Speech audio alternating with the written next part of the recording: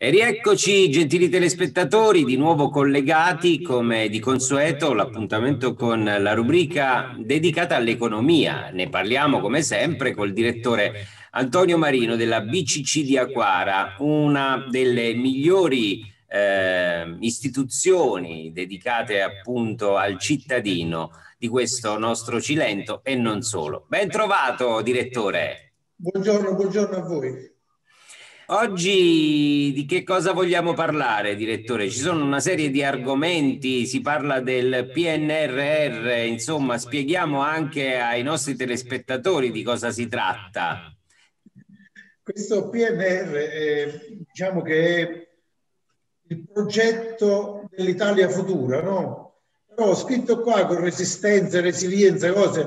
Ragione De Luca, no? Disse De Luca l'altra sera gli darei due anni di carcere a chi l'ha pensato questa cosa, perché vanno a spiegare agli italiani che, che è la resilienza, queste cose, bastava fare più semplicemente, come dice De Luca, eh, progetto Italia, no? sarebbe stato ancora più, eh, più, più, accessibile, insomma, no? È verissimo. Poi, progetto Italia, no? Poi, ma giustamente qua dicevo oggi questo articolo guarire la giustizia per aiutare l'economia. Effettivamente è così. In Italia abbiamo un problema che è quello della giustizia, sia penale che civile, che è la lunghezza dei processi e che purtroppo ci rende come sistema Italia meno appetibile per gli investitori stranieri. E tu sai che significa se gli investitori stranieri non vengono in Italia, no? È un problema per tutti, non solo per l'Italia, cioè una nazione che non riesce a trarre eh, investimenti stranieri nella nazione monca, insomma, nella nazione a metà. Quindi poi soprattutto noi che abbiamo tanto bisogno di gente che viene a investire che, e che chi investe poi crea occupazione sostanzialmente. Questa è la cosa che ci deve far piacere. E quindi c'è questo problema. Speriamo che, eh, visto che ce lo chiede l'Europa, perché l'Europa ha detto vi do i soldi se fate le riforme, questo, in Italia questo concetto non è passato ancora abbastanza, però l'Europa ci ha detto se fate le riforme a cominciare da questa della giustizia vi diamo i soldi, se no non ve li diamo. Quindi diciamo che eh, è di buon augurio ecco, anche per noi, se riusciamo a fare questa cosa, eh, riusciamo a guarire anche la giustizia in Italia, non sarebbe male. Direttore, tu che eh, insomma visiti parecchie aziende del territorio, mh, dobbiamo però eh, fare un'analisi specifica, insomma, forse non è abbastanza, mancano ancora tante aziende nell'impresa, soprattutto e nella valorizzazione dei prodotti locali, o no? O mi sbaglio, insomma? Eh, e soprattutto i recovery fund potrebbero essere un'occasione anche per i nuovi giovani imprenditori, o no?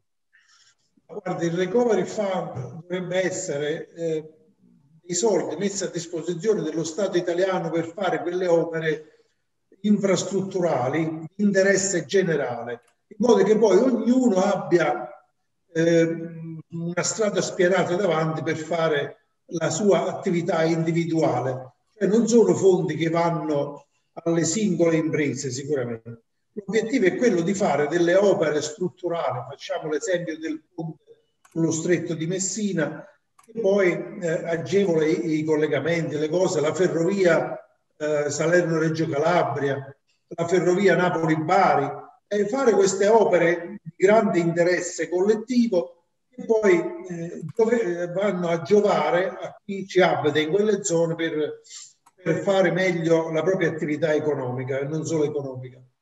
Quindi questo è lo spirito, non sono soldi che vanno alle singole imprese, ma è chiaro che le singole imprese oggi in Italia sono penalizzate da una serie di fattori la mancanza di infrastrutture soprattutto, ma anche e soprattutto la, la, la, burocrazia, perché abbiamo una burocrazia asfissiante per le imprese. Oggi i nostri giovani preferiscono andare eh, in Inghilterra a, lavorare in una pizzeria piuttosto che eh, aprire una pizzeria qui, perché sono, sono diciamo, eh, sommersi da, sommersi da burocrazia. Da, per aprire un'azienda qua ci vuole un anno di burocrazia, di pratiche dal notaio, dalla Camera di Commercio, all'Inps, eccetera. No? Quindi eh, preferiscono andare a fare i pizzaioli là e non aprirsi una, un'attività qua, insomma, no? E questo la dice lunga. Se noi non riusciamo a trovare una soluzione allo strapotere della burocrazia in Italia, avremo, avremo sempre più problemi e avremo sempre meno occupazione, perché dove non è facile fare impresa eh, non ci sarà occupazione, quindi è poco ma sicuro. Invece per quanto riguarda lo stato di salute della filiale di Agropoli, io ogni tanto sai benissimo che insomma faccio eh, un po' un discorso anche campanilistico, essendoci Lento Channel ubicato in Agropoli, chiedo anche della nostra filiale locale, come sta andando? Sta andando bene, teniamo presente che eh, ha iniziato ad operare l'8 febbraio di quest'anno, quindi sono pochi mesi, però devo dire che i risultati sono buoni. Eh, parte tante persone di Agropoli che sono venute, ma anche eh, da, da, Castellabate, da Prignano, da Torchiara. Eh, insomma, non ci possiamo lamentare. Ecco, abbiamo, eh, siamo riusciti ad avere una risonanza, diciamo, a livello zonale. ma effettivamente non possiamo lamentarci. Ecco, sta andando bene. Eh, abbiamo la tre unità lavorative, sono tre bravi ragazzi che si danno da fare tantissimo eh, quindi io sono veramente soddisfatto da questa cosa. Tra l'altro sapete che in questi giorni ad Agropoli ha chiuso una grossa banca come l'Ubi che è confluita in Intesa San Paolo. Sai, eh, questo eh, sul fatto che l'abbiamo sempre detto che se le grandi banche chiudono le nostre piccole banche, le BCC, eh, guadagnano terreno. Ecco, questo dobbiamo dirlo perché, eh, come, come dicevo con la pubblicità, se gli altri rallentano, noi acceleriamo.